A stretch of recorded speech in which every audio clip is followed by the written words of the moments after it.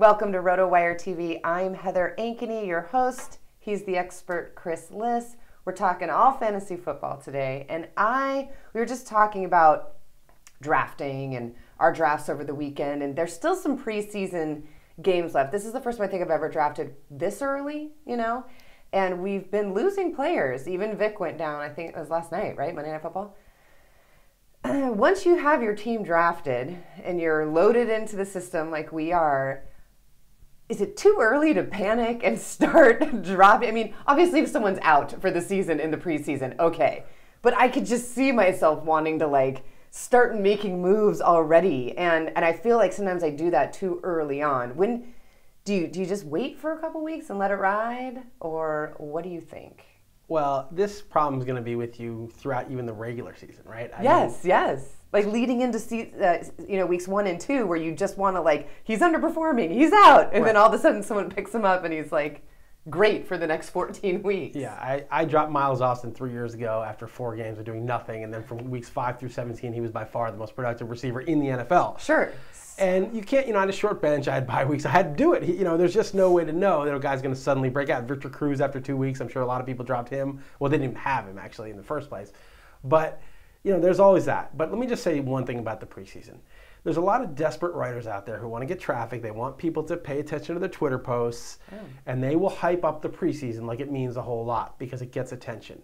They will be like people uh, pitching pitching somebody like representing this player like I'm his agent almost you know like oh my god Julio Jones and Matt Ryan they were just so on the same page they're going to be huge this year you got to get them no that's just bullshit it doesn't mean anything. Matt Ryan, let me tell you about Matt Ryan. Okay. He always does well against crappy defenses, and he doesn't do well against good defenses. Now, that may change. He may get better, but how unsurprising would it be for him to do well in the preseason? Right, I was going to say, doesn't that just sort of make sense? Here's yeah. something about Matt Ryan. He does really well against crappy defenses. and so why wouldn't he dominate in the preseason, right? So it's like, and then they hype this up like the guy hasn't been in the league four or five years. I mean, the guy's in his like fourth or fifth year. And Julio Jones is, is going to be good, and I really like him. He's extremely explosive. He's big. He's fast. He's kind of like the second best, you know, size speed combo to Calvin Johnson. And maybe Stephen Hill of the Jets is, but he can't catch yet or run around. I mean, with some polish, he's probably the second most athletic, polished receiver to Calvin Johnson. He's that explosive. Wow. Okay. But I mean, you could argue a couple other guys. AJ Green's there too. He's not quite as big as Julio Jones. But but you know that's great and all. Okay.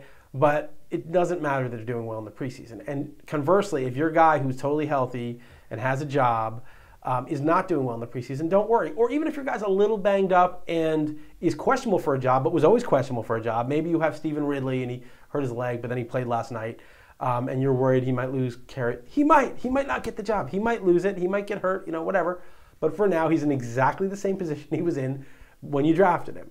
And so don't chill out. Chill out you know, and, and if anything, get angry at the pundits who are trying to hype different guys and overreact to everything. It's just better if you don't pay attention. Obviously, as you said, if your guy's out for the year, that's you know time to cut him and move on. But resist the urge, and it's strong sometimes. Yeah. yeah resist the urge to make moves because you're just over you're micromanaging. You're, yeah. you're overdoing it. Like you you drafted the guy for a reason. As long as that reason still persists, keep him. If, if there's if that reason, you know, if he got cut, if Chad Ochocinco, you thought he was going to be the number one guy in the Dolphins, he's not on the Dolphins anymore. You know, so that's a good reason to cut him. yeah, that's a good reason to cut him. All right, cool. Resist the urge. This is RotoWire TV.